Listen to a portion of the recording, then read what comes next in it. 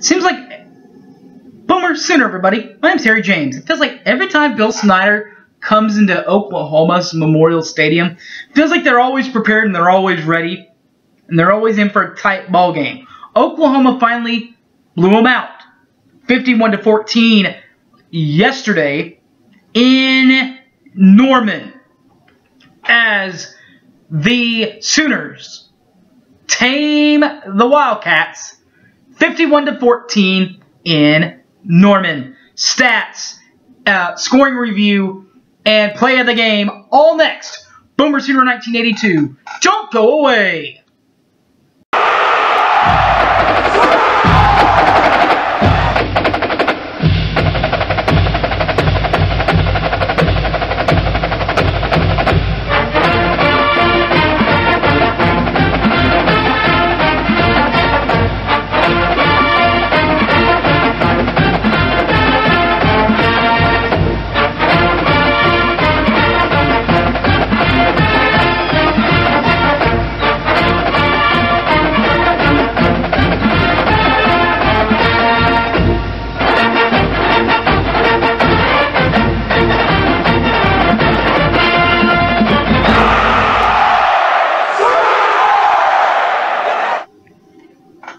Everybody, Boomer Sooner. Let's tell y'all now, let's now that's done, let's tell y'all how we mild the wild cats. Get it? Mild, wild. we tamed them pretty well. Uh, and it all started with the stats board. When uh, number 10, Skylar Thompson for Kansas State, had only 108 yards in the air, didn't have a touchdown or an interception, however so he didn't turn the ball over, but his longest completion was only 22 yards down the field. QB1, Kyler Murray was the leading passer for Oklahoma. Again, uh, 352 yards in the air with three touchdowns, zero picks. The longest completion of the night was one of two, uh, two touchdown passes to CeeDee Lamb, this one from 82 yards away. We'll talk more about that later leading rusher for each side. We'll start in the Little Apple, Kansas State. At the end of the day, number 34, Alex Barnes. Not a bad looking running back. Uh, 13 carries, had just 28 yards on the ground, didn't have a touchdown. His longest run of the night was for 5 yards. The Oklahoma Sooner running back core is deep. Really deep. And with being really deep, they called on a true freshman who led the team in rushes this week. 13 carries for number 22, TJ Pledger. To go with the 13 carries, 91 yards. Didn't have a touchdown, but his longest run of the night, 21 yards. Leading receivers for the Kansas State Wildcats and the Sooners, number 83, Dalton Schoen for Kansas State. Four catches, 47 yards, zero touchdowns. The longest completion, 22 yards. Well, Cedarian Lamb, CeeDee Lamb, uh, four catches, a buck 60, two touchdowns for the young man. 82 of the 60 were on one play. Defensively, Kansas State always has a solid defense. And they always have a solid defense because they always have a solid defender. This week it all belonged to Walter Neil Jones, Walter Neil Jr. Sorry, Jr. had nine tackles, zero forced fumbles, zero fumbles recovered, zero picks tonight as a defensive back. For the Sooners defensively, linebacker Curtis Bolton, seven tackles. He also did not have a fumble forced, recovered, or interception. Kicking the ball, Blake Lynch for Kansas State, 0-0. Didn't kick a field goal, didn't try a field goal, 0%. Austin Seibert, 3 for 3 for 100%. Uh, his field goals were from 22, 27, and along a long of 32. Uh, but punting, uh, number 21, David uh, for Kansas State, 7 punts, 46.7 in average, 65 long, uh, 5 inside the 20-yard line, 0 touchbacks. For the Sibes, Austin Seibert does both kicking and punting. He had just one punt tonight for 36 yards in average, 36 along, one inside the 20-yard line, zero touchbacks. That's how we got there through the stats. But how did we get to a 51 to 14 final? Well, here's how it happened. It happened early. Stick with me here.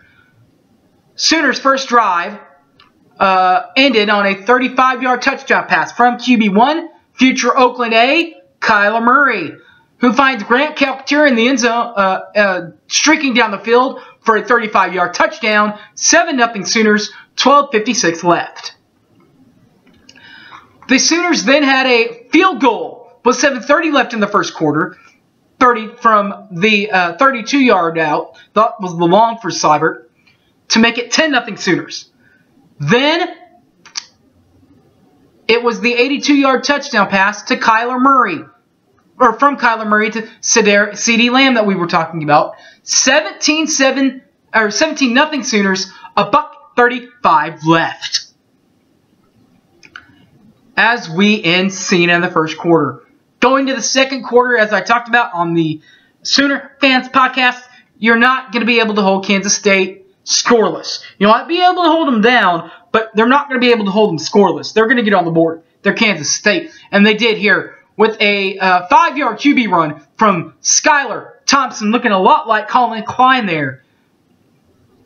And the number 10 jersey, 17-7 Sooners, however, still in front with 10.03 left. The Sooners then get the touchdown that they just, that Kansas State scored. They get that touchdown back with 7.29 left.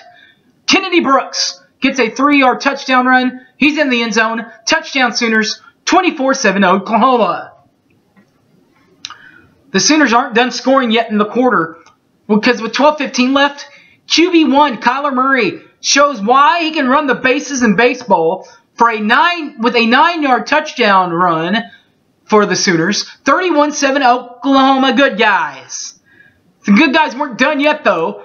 After a fumble on the kickoff, Oklahoma recovers and nails a 27-yard field goal up and good with 22 seconds. Oklahoma leads 34 to 7. Third quarter now. Kennedy Brooks says, you know what, I'm going to go take this one to the house. And does with an 82, 86 yard touchdown run.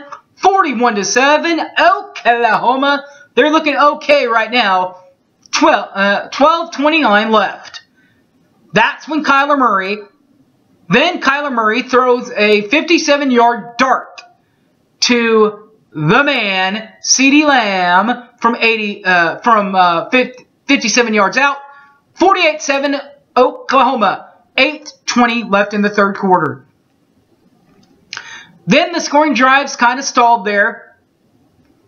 But Seibert didn't stall because in the fourth quarter, the Sooners get one more score on the board to make it 51-7 with a 22-yard touchdown uh, field goal. Up and good. 51-7 Sooners, 12.57 left.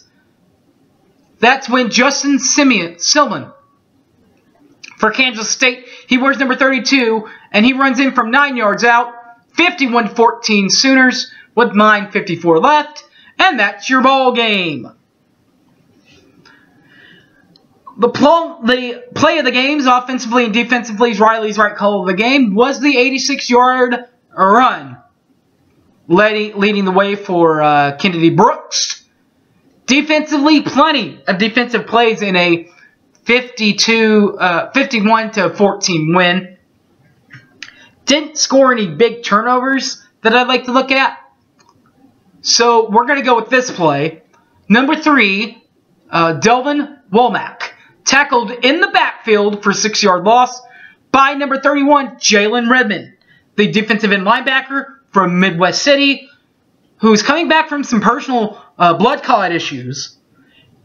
And in his second game, only his second game as a true freshman, everyone thought that he would be out for the year. Did play, played yesterday, played last week, played yesterday, uh, and caught Devin Warmack in the backfield for a six-yard loss.